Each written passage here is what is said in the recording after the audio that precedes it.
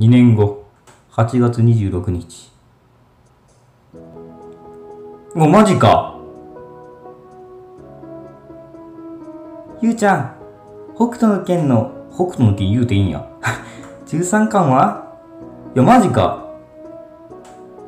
いや、今思えばそうやな。髪の色一緒やん。そうやん。うわマジ美少女やん。んじゃ、高校生か、そういえば。ありがとう。フォアター。フォアターって何？が、いきなり殴るな。経路、必見。あ、わからん。わからん。人中曲をついた。ゆうちゃんは3秒後に爆、爆裂して死ぬ。いやー、北斗の拳は、そうやね、漫画で読んだけど、忘れた。殺すな。ほら、ヒデブーって言って死なないと、確かに。タワバーってもいいけど、あろ、もう渋いよね。あー、ヒデブーはわかる。タワボも、タワバもまだわかる気がする。あるほんまにわからん。いや、死なないし。ペコペコ言って死ぬんですよね、あれね。ちにゃー、ちにゃー。いや、あーわからん。そっちが死ぬのかよ。いや、わからん。ちにゃーなんかあったっけ？ちょっと可愛らしいな。星野の第2話。冬ホタル。星野の家に住むようになって、早くも2年の月日が流れていた。この家にもなれ、今では俺を育ててくれる和泉家に敬意すら感じている。農作業もよく手伝うようになった。兄弟は中学校を卒業し、あ、うん。俺は男子校である栃木第一高等学校へ。いや、マジか、男子校行ったんか。残念やな。嫌やよ。嫌やよ。もう今、男子校みたいなとこで。男子校嫌やよ。あれねは栃木第二女子高等学校へと進学して。男女で分かれとんけ。今時、公立で男子校、女子校っていうのが残っているのには若干驚いたが、姉は2年経っても頼りないままだったが、頼りになる春姉というのも存在もできそうにな、できそうにない。春姉の高校進学を機に部屋がこ別別個になったものの、こうして毎日のように春姉は俺の部屋にやってきていた。めっちゃいいやん。めっちゃいい。そういえば、明日は文化祭だよね。おう。ベッドに座り込む春姉はいつものことなので、漫画本から視線を離さぬまま答える。体に疲労が残っているのも文化祭の準備のせいだった。春姉の通っていると土地土地に、土地にの生徒は、いや、あ、土地の生徒もかなり、というか、ほとんどやってくる。ああ、そういうことね。ちょっと恋愛を求めにね。ねえねえ、ゆうちゃんのクラスは何やるの？ずーっと秘密って言ってたけど、そろそろバラそうよ。別にバラしてもいいやんな。正味バラしてみて。違う高校なんやろ？バラしたところで、ああ、メイド喫茶。いやー、男子校のメイド喫茶か。全く持って行きたくない。全く持って行きたくない。え？メイド？メイドじゃねえよな、まず。え？メイド？あ、もう同じとこなんだよ。メイド喫茶？男子しかいないのに？ですよね。ですよね。え、メイド、メイド、あ、ちょ、また同じこと。あはは、あははは。あ、笑え。盛大に笑え。たく、委員長が大バカで大天才だったんだよ。クラス全員をうまく焚きつけやがって。どんな委員長やそれに乗せられる奴らもや。何が楽しくて、だん男たちであんな服着るんで、おい、着るのかい？メイド服着るんかい？あはは、あははは。バカだ、バカ、最高だ。あ、それじゃあゆうちゃんもメイド服着るの？お いやー、ぜ、ぜ、対見に行く。絶対来るな。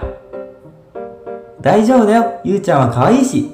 てか、ゆうちゃんの容態知らんよな。褒めてね。ほらほら、練習しようよ。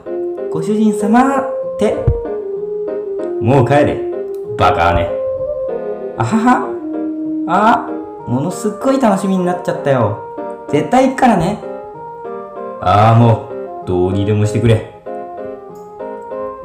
ご主人様、かわいい。かわいい。帰れあう、ひどいですよ、ご主人様。おめえがメイドがよ。いや、絶対そっちの方がいいわ。いやー、いいわ。なりきるな。ご主人様、ロイヤルミルクティーハーブ。あ、ロイヤルミルクハーブティーをお持ちしました。俺、コーヒー派なんだけど。いや、ミルクティーでいいや。黙って飲めこの腐れゲドが いきなりキャラ変えんな。あはは。ああ、もうお腹痛いよ。いいなこういう兄弟。いいね。春姉は永遠と爆笑しながら俺の布団に寝転がる。制服にシワがつくのはどう、制服にシワがつくのはどうでもいいらしい。携帯電話を取り出し、ボタンをカチカチと押し始めた。時代設定なんぼや、これ。ていうか、それね、ポチポチ、カチカチか。カチカチってことはさ、ガラケーってことなんかな何をしているこういう面白いことはみんなに報告しないと、あ、みのりに報告しないとみんなに言って。相変わらずアンテナが立たないなアルネの友人だったパミヤネさんは神奈川県の川崎の方へと引っ越してしましていってしまった。マジか引っ越したんか距離は離れたものの、今もこうして連絡を取り合っているあたり、本当に仲がいいのだなと感じている。感じる。みーちゃん、祈りが写メをくれ。だって。やっぱり明日は絶対行かなくちゃね。ああ、明日行きたくねえー、それ見せ見せてくれんのかな俺らには。見たいんですけど、星野の家に住むようになって早くも2年の月日が慣れていた。バカで思いやりだけが一直線の姉と暖かい田舎の家庭。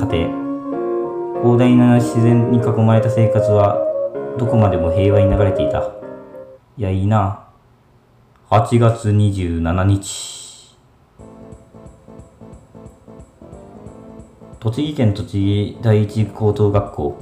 略して栃木一高は県内有数の県内有数の進学校である。お帰りなさいませ。あお帰りなさいませ。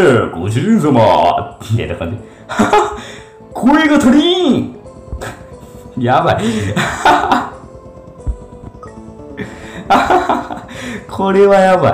これはやばい。これ委員長やろ？そんな尻に指入れられてるような声 ご主人様が満足するものかもう一回何やねん。キモいな、ちょっと。お、お帰りなさいませ。ぐ、ガシェンさん やっはーいいぞお前らのこのご方針の力をビンビン感じるぞお前ちょっとエロいな。言い方がエロいな。ワンスモアアグレイお帰りなさいませご主人様 もう一度言いたいが、栃木一高は県内有数の進学校である。そして男子校でもある。セミが鳴き、鳴き、鳴き、鳴き解く、わからん。8月27日の1年4組。4組ね。生徒たち別名院長の特兵たち将兵たち笑えないな。そのあー飛ばしてしまった。その屈強な肉体にフリル全開のエプロンドレスを着込んでいた。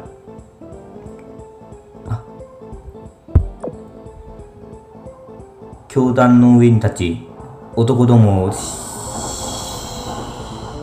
電車やね、またね。はい。指揮している丸眼鏡の学級委員長も例に例に例に例に漏れずメイド姿だった。頭には猫の耳。いやー女の子にしてほしいそれ。うん。そんなゴリゴリのやつがしても この世の地獄だ。確かに。生地の多い服はが暑苦しい。ニーソニックに汗が流れる。ミニスカートがせめてもの数だったが恥ずかしさは何千倍だった。今すぐ頭のカチューシャをぶん投げたい。教室から逃げ出したい。いっそ人生やめてしまいたい。そこまでは思わんね。うん普通。いいか諸君。我々が歴史を作るのだ。我々が伝統を蹴散らすレジスタンスだ。君たちの挙動一つが伝説となる。確かに伝説にはなるやろな。少佐 いやこいつはただの委員長なんだが。諸君私はメイドさんが好きだ。諸君私はメイドさんが大好きだ。知らんがな。いや、大、メイド好きでも、お前男に着せて何が楽しいってんの。諸君、私はメイド喫茶を、天国のようなメイド喫茶を望んでいる。諸君、私に付き添う、一年四組の諸君、君たちは一体何を望んでいる？さらなる萌えを望むか。情け容赦ない。女装癖の部別を望むか。いやー、やべえな、こいつ。過剰方向の限りを尽くし、と、土地一、土地二の生徒を燃やし殺す。嵐のようなメイド喫茶を望むか？燃え燃え燃え いやー、やべえクラス。よろしい。ならば戦争だ。我らわずか一クラス、40人に満たぬ一年坊主に過ぎない。だが諸君は、一騎当選のメイドさんだと私は信じている。ならば我らは、諸君と私で、総兵力4万と1のメイドさんの集団となる。ピンポンパンポン。これより文化祭って男なんか。これより、これより文化祭を開始します。ごじじ兄、わかんねえよ。の皆様方、栃木一高生徒の素晴らしいお祭りをお楽しみください。恥ずかしい。第一次。栃木一高メイドさん、制圧作戦、状況開始せよ。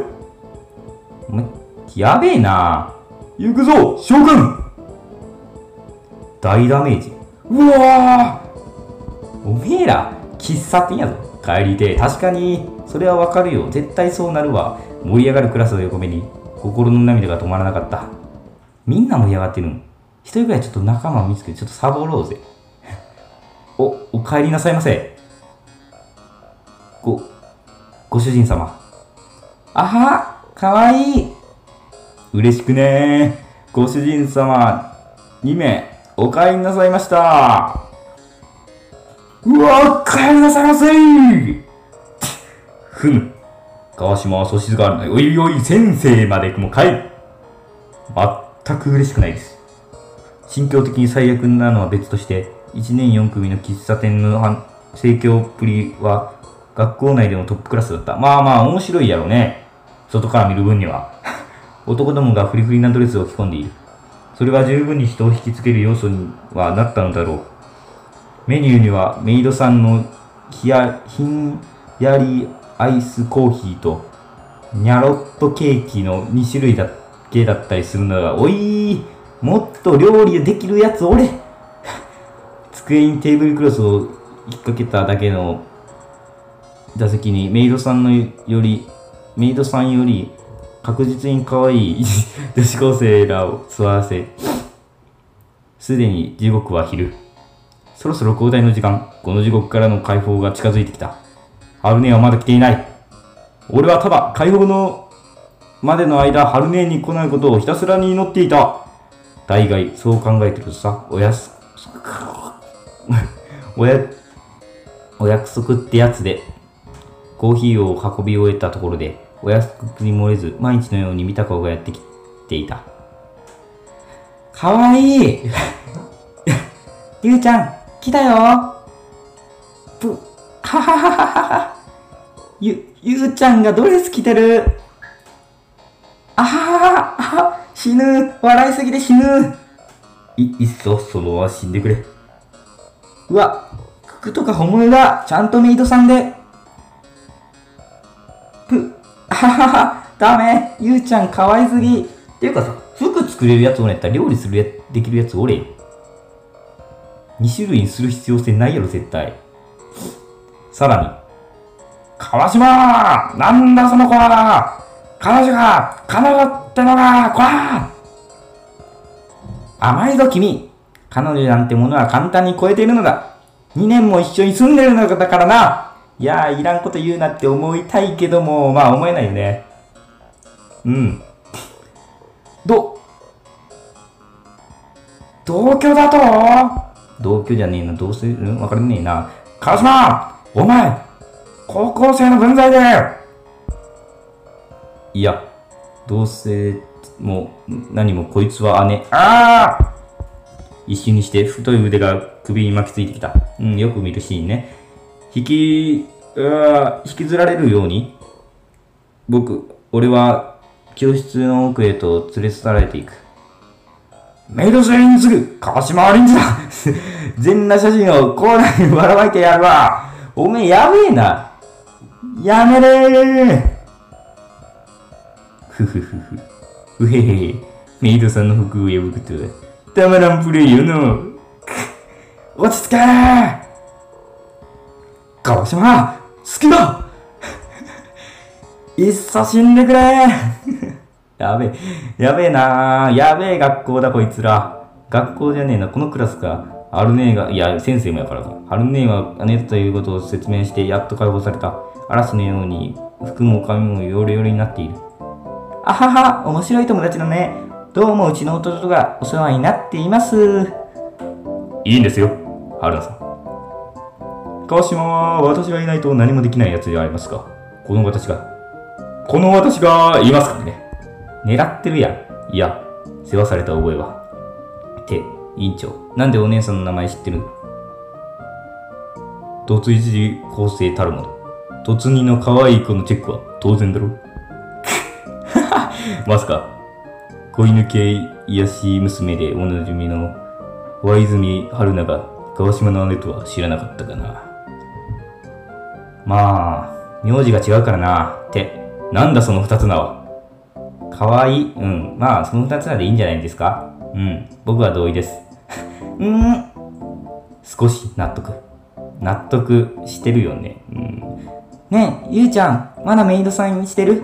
私一人で、一人で来ちゃったから暇なんだよ。んちょうど時間だし、着替えてくる。待て、川島。いらんこと言うな。ん担当の時間は終わったけど、その服のままでいけ。広報だ。否定は認められない。否定する場合は、号令をばらまく。委員長はポケットから数枚のポラロイド写真を取り出す。その姿には先ほどの俺の。貴様は悪党だ。戦略家と言ってほしいね。やべえやつ、やべえやつに絡まれてんな。グランドに椅子とテーブルを出したところでカフェテラスという名前になるのが文化祭。メイド服姿の恥に耐える俺の対面で春姉が幸せそうに青色のチョコバナナを頬張っ青色のチョコバナナを頬張っていた？パラソルが夏の日差しを遮っているのものの降り注ぐ日差しは強くくっきりとした影のコントラストを描いている。やっぱりお祭りイコールチョコバナナだよね。つまりチョコバナナはお祭りなんだよ。あつまりなうんそうか。そんな方程式はない。うわチョコバナナチョコ溶けてきた。チョコバナナ溶けてきたって言おうとした。話を聞け。電車。電車。文化祭は盛大に盛り上がっていた。読み込みの声、呼び込みの声、放送音楽、カラフルな装飾、すべてが派手で大きく、学校全体に熱いオーラをまとったかのような熱狂的な風景が転がっていた。自分にとっても初めてで文化祭、盛り上がりたいところなのが、メイド服。先ほどからずっと通りかかる人たちの視線がとてつもなく痛い。もう死にたい。ん見た目が重要なんだろうけどさ、青色のチョコバナナって日光の手前だよね。日光の手前？いや、マジそれよ。いまいち、あるね。それ、栃木県民にしか通じないネタだから。うわーそうなのか。このどうしようもないローカルネタを解説すると、東証宮で有名な日光市の手前に、いまいち、いまいち市という市があるというネタ。なるほどね。いまいちってこと。ああ、なお、今、いまいち市は2006年3月に日光市と合併。ああ、合併しちゃったんだ。もう、でもでも、ゆうちゃんもすでに栃木県民だよ。何やったっけこれ。かん、かん、かん、かん、かん、かんぐり。えー、作れて、芋入り焼きそば食べとるけ。急にちょっとやめて。完璧だってさ。適当な栃木弁だめな。まあ、うまいもんはうまいよ。栃木名物じゃがいも入り焼きそばに噛みつく。えー、ちょっと食べてみたい。ボリューム満点のところが好きなんだが、なぜ他のところで作らないのだろう。チョコバナナを食べきった春音はレモン牛乳を美味しそうに飲んでいた。あの味は理解できそうにない。あ、ちょっと声がか。ぷはーじゃあ次はかき氷食べよう。メロン味ね。よろしく割り勘な。そこはおごったれよ。おごってよ。私はゆうちゃんのご主人様だよ。どう見ても頼りない姉にしか見えないです。ご主人様。む、生意気な家政婦ねピンポンパンポン。皆様方にご連絡いたします。体育館にて演劇部による舞台、胡蝶とスバルが始まります。ぜひともご覧ください。ゆうちゃん、聞いた？演技だって見に行こうよ。はいはい。えー、横スライド。あのねは小走りにかけていく。と思ったら戻ってきた。その前にかき氷買ってからね。はいはい。はい。ということで、ちょっと、今回はね、ここで終わりたいと思います。ちょっと時間がない、時間がちょっとあれなんで、あれなんですよ。ちょっといろいろあるんで、はい。じゃあ、今回はここで。じゃあ、ご視聴ありがとうございました。